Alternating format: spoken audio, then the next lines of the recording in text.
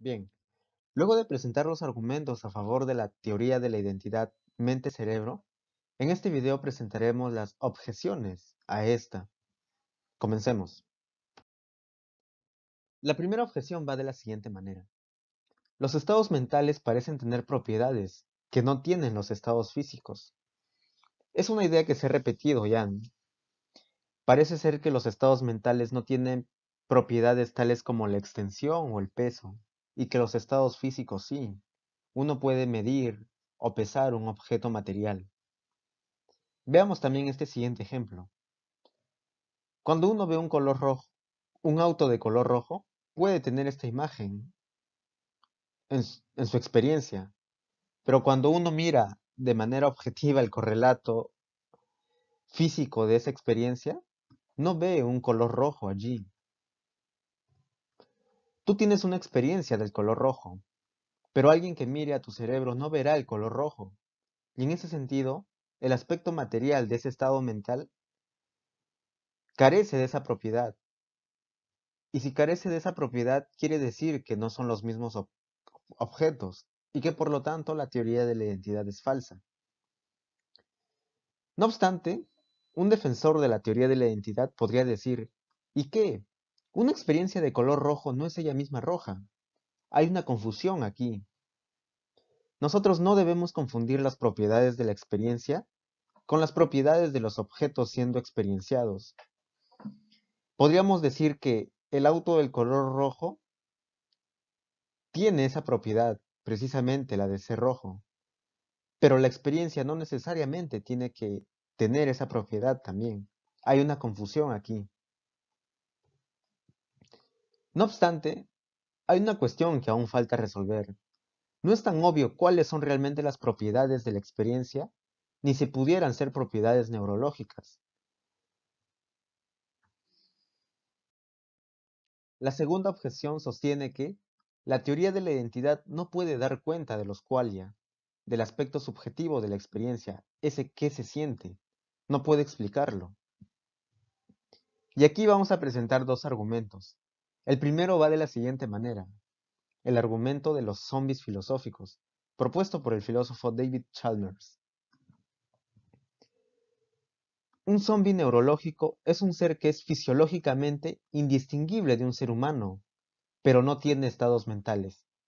En otras palabras, imagina que por un lado estás tú y por el otro hay una copia exacta de ti, una copia exacta, átomo por átomo de ti, pero que no tiene experiencias subjetivas. Sería algo así como un robot, pero en este caso un zombie. Un zombie que tiene exactamente todos los átomos que tú también tienes, estructurados de la misma manera que en tu caso, pero que no tiene estados mentales. ¿Es posible esto? ¿Es concebible? Por supuesto que sí. No parece haber una contradicción lógica en el hecho de pensar que hay un ser que es materialmente idéntico a ti, pero que no tiene estados mentales. En ese sentido surge lo siguiente. Si los zombies son lógicamente posibles, entonces la teoría de la identidad es falsa. Y hemos visto que los zombies son lógicamente posibles. Por lo tanto, la teoría de la identidad es falsa. Y es que los estados mentales no pueden ser estados cerebrales si es posible tener uno sin los otros. Si A es B, no es posible tener A sin B o viceversa. En este caso podríamos decir que tú tienes estados cerebrales que son idénticos a estados mentales. Pero en el caso del zombie, que comparte todo tu correlato material, tiene estados cerebrales, pero no tiene estados mentales.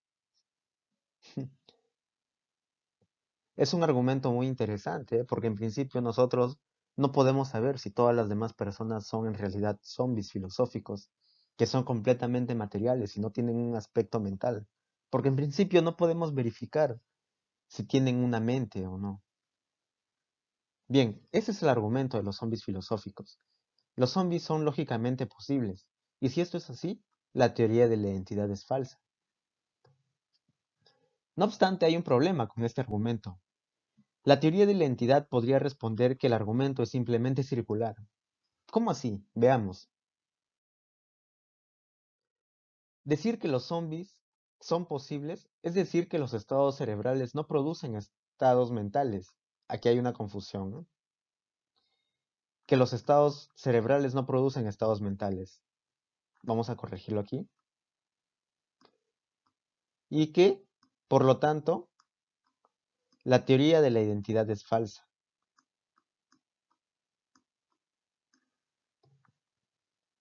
Eh, nosotros podríamos negar que los zombies son lógicamente posibles sobre la base de que son inconcebibles o, o incoherentes.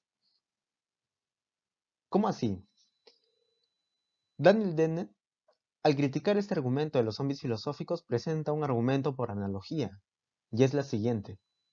Suponer que, mediante un acto de imaginación, tú puedes quitar la conciencia mientras dejas todo el sistema cognitivo intacto, o sea, todo el aspecto material, es como suponer que, por un acto de imaginación, tú puedes quitar la salud mientras dejas todas las funciones corporales intactas y en buen estado. Si la teoría de la identidad es, verdadera, es verdadera, entonces los zombies filosóficos son inconcebibles. Sería como imaginar que uno mantiene un buen estado físico, pero que no existe la salud en ese cuerpo. Es algo absurdo, inconcebible. Hay una contradicción en principio. Entonces, no es muy eh, sólida el argumento de los zombies filosóficos en contra de la teoría de la identidad. El segundo argumento va de la siguiente manera. Es el argumento del conocimiento, o el argumento de la habitación de Mary, planteado por el filósofo Frank Jackson. Esta va de la siguiente manera. ¿eh? Imagina que hay una neurocientífica llamada Mary que ha pasado su vida entera en un ambiente que está completamente en blanco y negro. Precisamente es la habitación de Mary. Aquí está Mary y su habitación luce de esta manera. Ella ha pasado toda su vida aquí. Pero hay un dato muy importante. Ella se especializa en la neurobiología de la visión del color. En ese sentido, sabe todo acerca de los colores. Sabe que son ondas. Sabe que son longitudes de ondas, los colores, y que estos eh, tienen cierto impacto o cierto estímulo en el aparato neurobiológico del ser humano. Bien, ella sabe todo el aspecto físico de los colores. Bien, pero resulta que un día la liberan de la habitación. Como ella ha visto todo en blanco y negro, cuando ella salga de la habitación va a aprender algo. Ese que se siente ver colores, ya que antes veía solo en blanco y negro, ahora va a poder ver en colores como el rojo, azul o celeste. En ese sentido aprende algo nuevo. Así, saber todo el aspecto material de los colores no te explica o no implica que sepas o que conozcas qué se siente ver el color. Es por eso que se llama el argumento del conocimiento.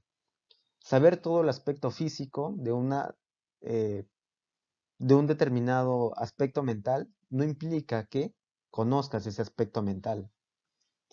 Eh, bien, el argumento de manera formal va de la siguiente manera. Antes de salir de la habitación, Mary tenía un completo conocimiento de todos los hechos físicos sobre la visión del color.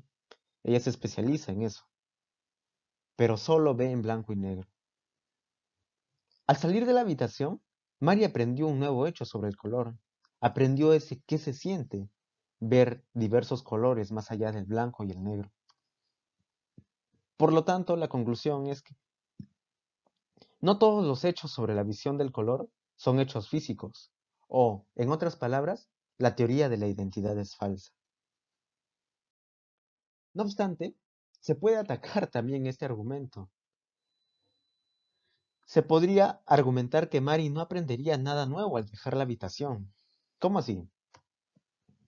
De nuevo Dennett ofreciendo eh, otro argumento en contra. Si Mari sabe todos los hechos físicos sobre la visión del color, ella sabría exactamente qué esperar al ver el color rojo. ¿Cómo así? Veamos este siguiente caso hipotético. Imaginemos que al salir de la habitación, a Mari le muestran un plátano de color azul. Los plátanos son de color amarillo, por supuesto. pero le muestran un plátano de color azul. Eh, si nosotros seguimos el argumento del conocimiento, diríamos que ella aprende un hecho nuevo, que los plátanos son de color azul. No obstante, es posible que ella pueda decir lo siguiente, ya que ella conoce todo el aspecto material de los colores. Podría decir, no trates de engañarme, los plátanos son amarillos y este es azul, ya que está revisando todo el aspecto material de, los colores y sabe que son longitudes de ondas que pueden ser medidas, ¿no? Objetivamente. Y en ese sentido podría hacer esto con el plátano. Y ya que en la habitación sabía que este, el color amarillo tiene cierta longitud de onda determinada, y en este caso que le muestran un plátano azul no se cumple eso, podría, podría decir que le están engañando. Y en ese sentido, no conocería nada nuevo. Entonces la conclusión que podemos sacar de esto es que creemos entender el experimento mental de la habitación de Mari, pero realmente la idea misma de que alguien tenga ese conocimiento está más allá de nuestra imaginación. Queda una cuestión abierta aún con el argumento del conocimiento. La tercera objeción va de la siguiente manera. ¿Cómo podría la teoría de la entidad dar cuenta o explicar la unicidad de la experiencia? Un simple estado de conciencia incluye distintas experiencias, ¿eh? escuchar, ver, eh, tener alguna sensación de frío o calor, etc. Nosotros tenemos todas esas experiencias, pero la conciencia parece unificar todo eso. Nos sentimos como un solo yo y no como varios, como varias personas dentro de nosotros que eh, cumplen diferentes acciones como escuchar o ver. La conciencia parece tener una unidad, pero el cerebro no muestra tal unidad. El aspecto material no muestra tal unidad. Y en ese sentido no explicaría la teoría de la identidad.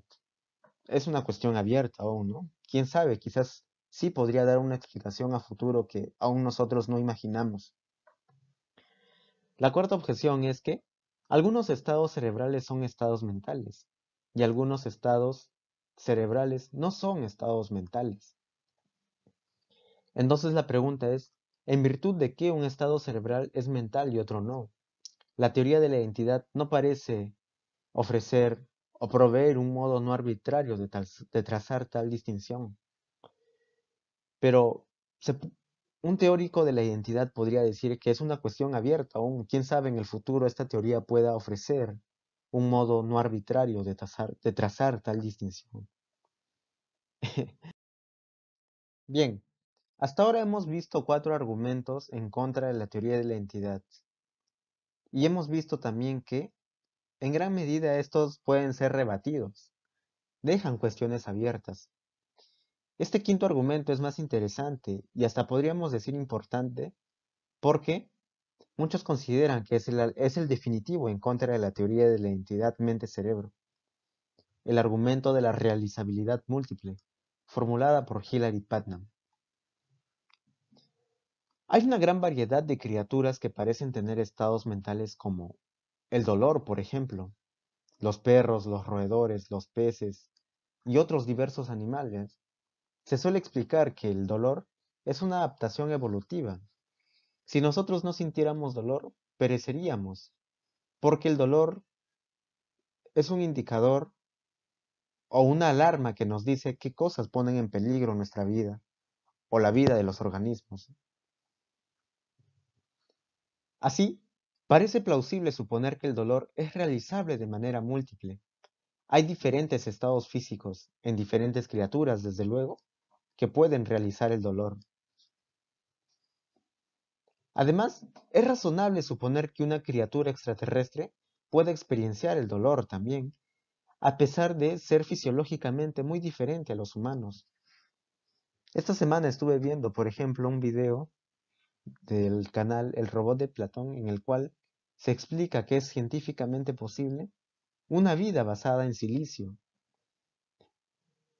Y es razonable pensar que de existir estos organismos basados en silicio, eh, puedan experienciar también el dolor. Puedan experienciar el dolor a pesar de ser fisiológicamente muy diferente a los humanos. Bien, el argumento de manera formal va de la siguiente manera. Los estados mentales son realizables de manera múltiple por distintos estados físicos. Si un estado mental es realizable de manera múltiple por distintos estados físicos, entonces no puede ser idéntico a un estado físico en específico. Por lo tanto, se sigue que ningún estado mental es idéntico a algún estado físico en específico. La teoría de la identidad es falsa. El dolor, por ejemplo, que se podría igualar a la activación de las fibras C, no se cumpliría porque diversas criaturas con una fisiología completamente diferente no tendrían en principio las fibras C. Y en ese sentido, el dolor como estado mental no se puede igualar a ese aspecto físico en las demás criaturas. Sin embargo, una pregunta permanece. Si los estados mentales se realizan de formas muy variadas, ¿en virtud de qué un estado físico se puede considerar mental y otro no? Por ejemplo, dijimos que el dolor se puede realizar de manera múltiple. Bien, que el dolor se realiza o se instancia en diferentes aspectos materiales. Pero en virtud de qué se puede considerar estos aspectos materiales eh, como dolor. ¿En virtud de qué? Si son completamente diferentes, ¿por qué considerarlos dolor en principio? Este problema nos conduce a otra perspectiva en filosofía de la mente, que exploraremos en el siguiente video.